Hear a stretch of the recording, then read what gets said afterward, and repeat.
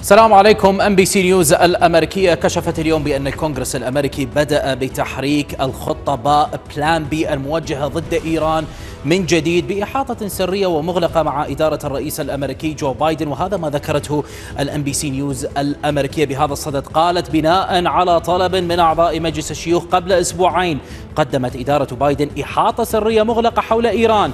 حددت خيارات الخطة باء المحتملة إذا فشلت الدبلوماسية في إنقاذ الاتفاق النووي لعام 2015 وهذا الإعلان الذي جاء اليوم هو يأتي بعد ساعات من إعلان الولايات المتحدة الأمريكية وتحديدا الخارجية الأمريكية بأنها محبطة تماما من طبيعة النتائج التي جاءت من المفاوضات النووية التي تمت آه، لمدة يومين في العاصمة القطرية الدوحة. بهذا الشكل وبهذه البساطة كانت المفاوضات بهذا الشكل فعلا من المنسق الأوروبي أنريكي مورا الذي قام بهذه المفاوضات مع كبير المفاوضين الإيرانيين. علي باقري كان هذا المنسق يذهب إلى الفريق أو إلى الوفد الأمريكي يتناقش معهم عن التفاصيل ويعود مرة ثانية لمناقشة التفاصيل مع الإيرانيين الآن الخارجية الأمريكية. أكدت بأنهم محبطون تماما مما جاء من نتائج هذا الأمر وهنالك أسبابا لهذا الإحباط وما جرى في قطر تحديدا. فالخارجية الأمريكية ببساطة والأوساط الأمريكية أكدت أن الولايات المتحدة الأمريكية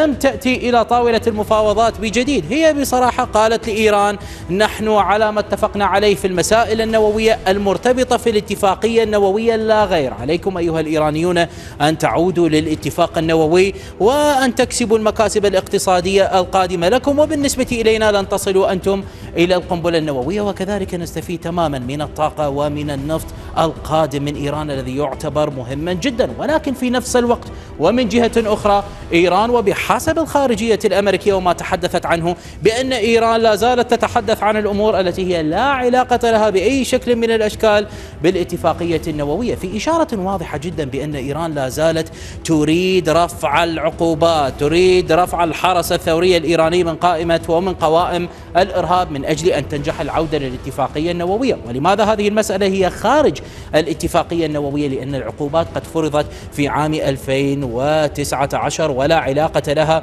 في المفاوضات النووية. المثير بهذا الأمر بأن هنالك أطرافا مهمة تحدثت بأن إيران لم تتحدث فقط أو تشير إلى هذه المسألة لا أبدا بل إنها قامت بإضافة أمور جديدة وأخرى بدأت تضغط عليها. تريد أن تكون هي من ضمن الشروط التي يجب أن تلتزم بها الولايات المتحدة الأمريكية من أجل أن تعود إلى الاتفاق النووي وهذا جاء من تفاصيل كشفها لورنس نورمان أحد أهم الكتاب في ال Wall Street Journal. هو الذي كشف عن أن إيران في هذه المفاوضات تحديدا في الدوحة آه، قد فرضت إيران وطلبت إيران أن يكون هنالك تحركا أمريكيا تجاه المواقع التي وجدت فيها الوكالة الدولية للطاقة الذرية جزيئات اليورانيوم. التي اكتشفتها الوكالة الدولية للطاقة الذرية جزيئات يورانيوم وجدتها الوكالة الدولية للطاقة الذرية في هذه المواقع الغير معلنة من إيران. هي مواقع سرية تماما. وعندما سألت الوكالة الدولية للطاقة الذرية إيران عن سبب وجود جزيئات اليورانيوم هنا والتي توضح بأن هنالك تخصيبا لليورانيوم كان موجودا في هذه المنطقة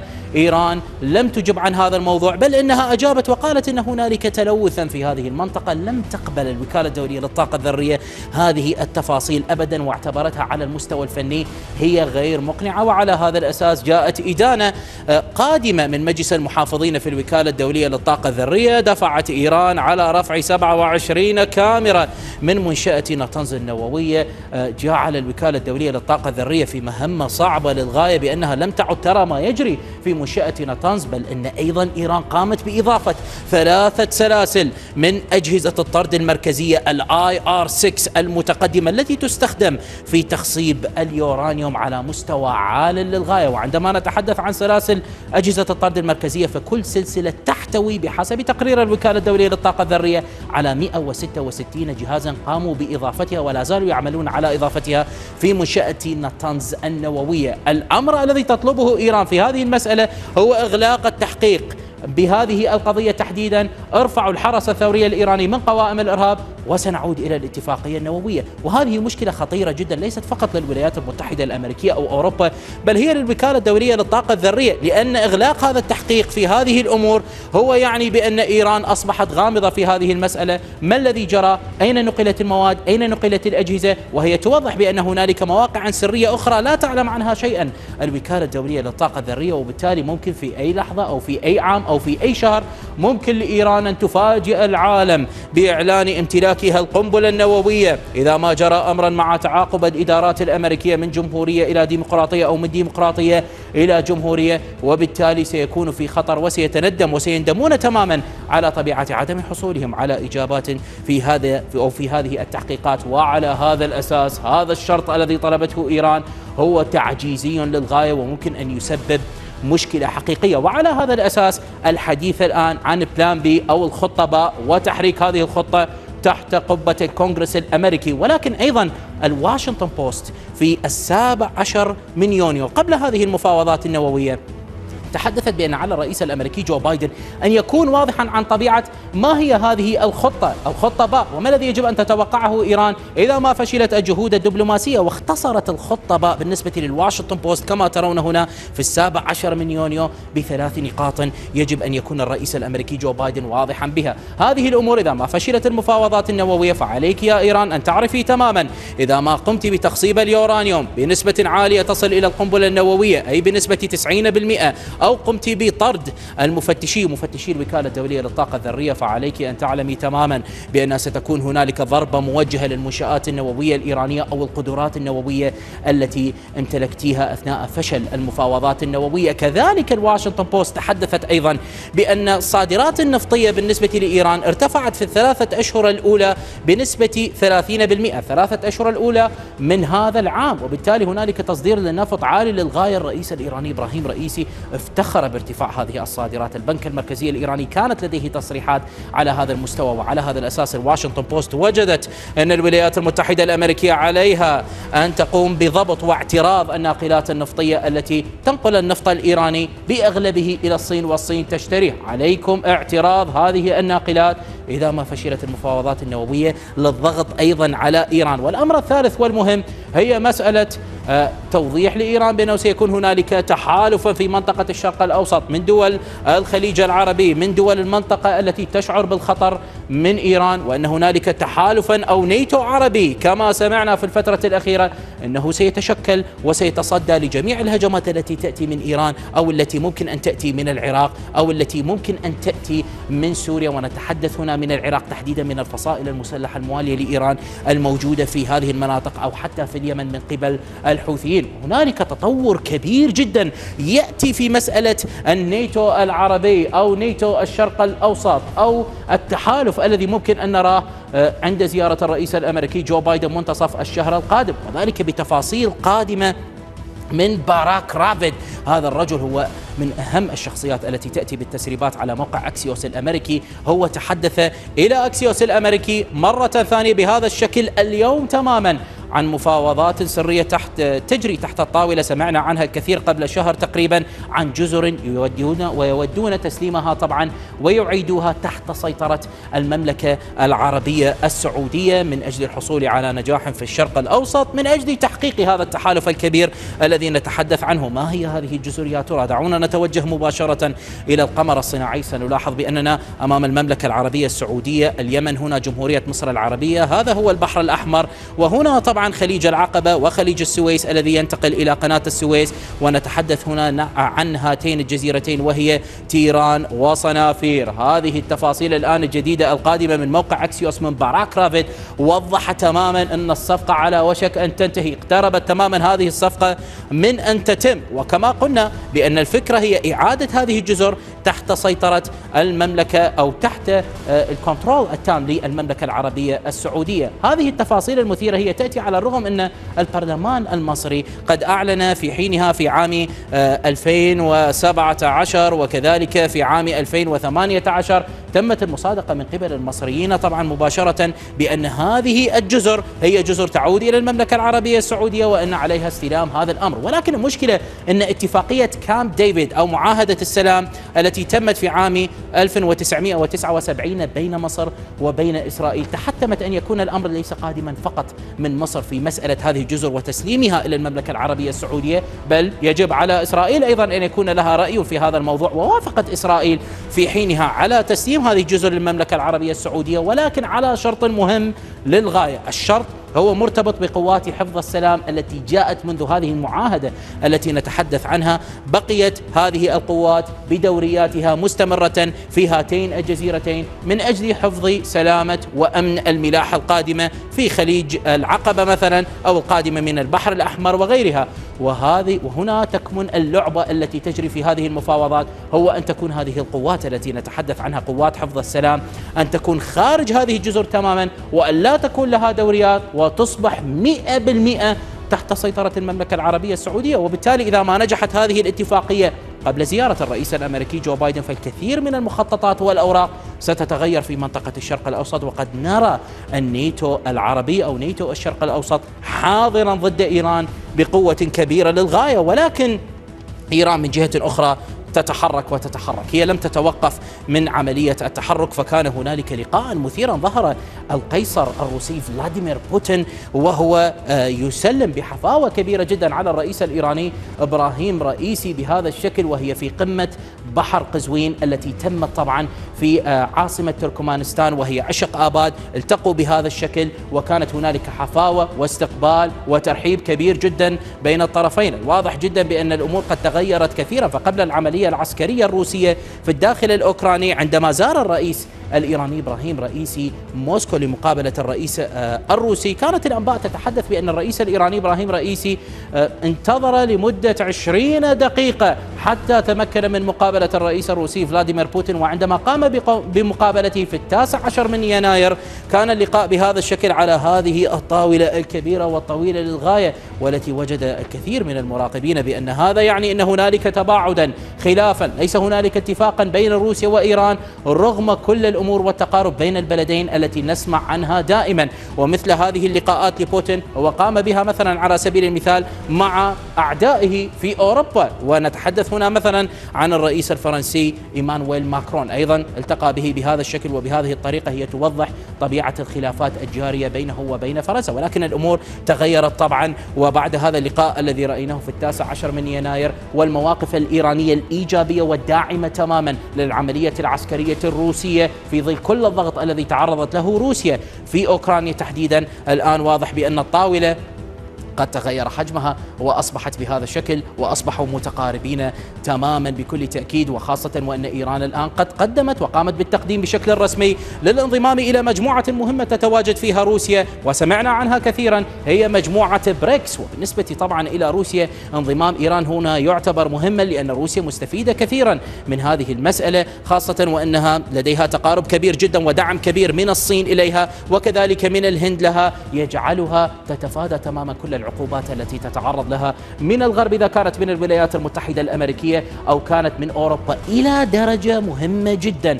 أن اليوم وتحديدا يوم أمس كان هنالك إعلانا كبيرا ضد روسيا من قبل الغرب بشكل عام من قبل وزارة الخزانة الأمريكية. قاموا بتجميد آه، الأصول الروسية بما يعادل 330 مليار دولار. الوزير الاقتصادي والتصريحات الروسية القادمة تحدثت أن هذا النصف ما تمتلكه من الأصول في الخارج بالنسبة إليها وبالتالي هو تجميد خطير جدا تعرضت له. ولكن روسيا بسبب هذا التعاون الكبير الذي نتحدث عنه على مستوى إيران وكذلك على مستوى الصين تحديدا والهند فهي قادرة على الرد. وماريا زخاروفا المتحدثة باسم الخارجية الروسية قالت بأن على الغرب وعلى الولايات المتحدة الأمريكية أن يتذكروا بأن لديهم أصولا موجودة لدينا هنا في موسكو ونستطيع من تجميدها والضغط عليكم بشكل كبير للغاية وعليكم أن تعلموا هذه الحقيقة تماما. وبسبب أن روسيا على ما يبدو بأن الدعم كبير جدا وهي تفادت الكثير من العقوبات فهي لا زالت تتقدم آه، بكل تأكيد على مستوى الداخلي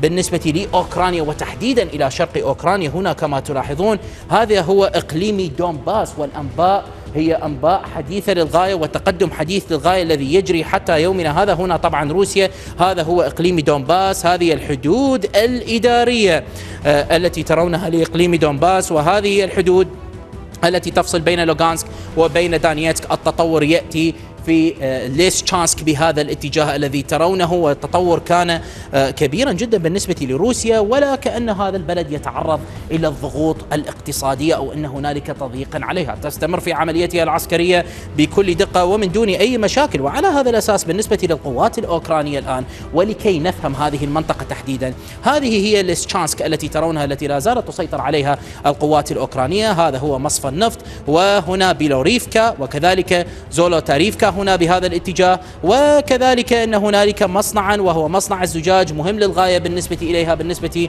للقوات الأوكرانية بالنسبة للقوات الروسية هي تسيطر على كل المناطق التي سنؤشرها لكم. طبعا يجب أن نأخذ ملاحظة بأن هذا النهر مهم جدا هو نهر سيفريسكي دونتس لكي نوضحه باللون الأزرق. وبالنسبة لروسيا هي تسيطر على كل هذه المناطق التي ترونها وهذه هي طبعا سيفيرودونيتسك التي سيطرت عليها. القوات الروسية الآن هي تضغط على عدد من النقاط. هي تضغط بهذا الاتجاه على آه، بيلوريفكا بهذا الاتجاه وكذلك هي قد تمكنت فعلا من السيطرة على العديد من المناطق أو المجمعات الصناعية الموجودة هنا وبدأت تخترق من خاصرة ليستشانسك بهذه طبعا الطريقة وكذلك هم تمكنوا بالنسبة طبعا للقوات لكي نلاحظ فقط لنأخذ صورة واضحة بالنسبة لمصنع الزجاج. مصنع الزجاج هو لا يأتي بهذا الاتجاه في حقيقة الأمر بل هو يأتي بهذا الاتجاه. القوات الروسية طبعا آه، ما تمكنت القيام به بالنسبة إليها. هي تمكنت في الفترة الأخيرة من الوصول إلى هذه المنطقة المرتفعة سيطرت عليها بدأت بالضغط على مصنع الزجاج بدأت بالضغط على جميع هذه المناطق وكذلك هي كانت تضغط على مصفى النفط الجاري وما جرى الآن وما هو جديد مع الضغط الكبير على هذا المصفى. تمكنت القوات الروسية قبل 24 ساعة من السيطرة على هذا الموقع وبدأت تأخذ المعارك بهذا الاتجاه الذي تلاحظونه وبدأت تشتبك مع هذه المدن التي تأتي بعد مصفى النفط في أهداف استراتيجية مهمة بالنسبة إليها. هنا طبعا مدينة بريفيليا التي كان هنالك تطورا كبيرا جدا. ويجب أن ننتبه أن الطرق الممتدة التي يكون فيها دعم قادم القادم لليسشانسك للقوات الأوكرانية لكي تستمر في الصمود. هذه الطرق من بريفيليا وكذلك الطريق من ليسشانسك بهذا الاتجاه. أصبحت تحت السيطرة النارية للقوات الروسية. القوات الروسية أيضا في نفس الوقت اليوم وبأنباء حديثة في ال 24 ساعة الماضية. الأنباء تتحدث بأن القوات الروسية تمكنت من عبور هذا النهر الذي نتحدث عنه وهو سيفريسكي دونتس وتمكنت تماما من السيطرة على بريفيليا وقطع هذا الطريق تماما بشكل رسمي وهي لم تعد مسيطرة عليه على المستوى الناري بل هي سيطرت عليه بهذا الاتجاه وقطعته تماما وبالتالي لم تعد هنالك الكثير من الخيارات بالنسبة للقوات الأوكرانية وعلى هذا الأساس ما هو متوقع بالنسبة للقوات الروسية الآن هي أن تستمر في عملية الضغط بهذا الاتجاه وقد تذهب إلى زولوتاريفكا بهذا الاتجاه من أجل السيطرة عليها وقد يكون هنالك عبورا إلى بيلوريفكا بسرعة كبيرة من القوات الروسية لكي يكون هنالك عملية إطباق تامة وأيضا من برافيليا بهذا الاتجاه قد تلتقي مع القوات الروسية القادمة من هذه المنطقة وبالتالي نلاحظ أن هنالك إغلاقا تاما بهذا الاتجاه بل إن القوات الروسية الآن تتحرك تحركا مثيرا تجاه هذا المصنع مصنع الزجاج. هذا المصنع يتعرض إلى ضربات كبيرة وخطيرة. اليوم كان هنالك مقطعا قادما لطبيعة الضربات التي تأتي على هذا المصنع الذي كما ترون هنا في هذا المقطع. تتواجد القوات الأوكرانية بشكل واضح وتتحشد في هذا الموقع الذي تعرض إلى الكثير من الضربات. كما تلاحظون الضربات هي قادمة من تصوير الدرون. من طائرات ال drones كانت الضربات ليست عادية أبدا. الضربات مستمرة. هذه هي لقطات القصف التي جاءت على هذا المصنع. القوات الروسية لديها هدف وغرض مهم جدا.